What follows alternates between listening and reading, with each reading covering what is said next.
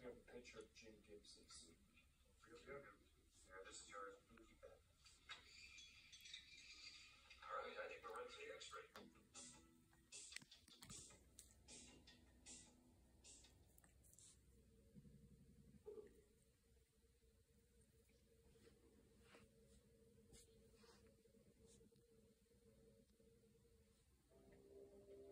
What if you could put aside your doubts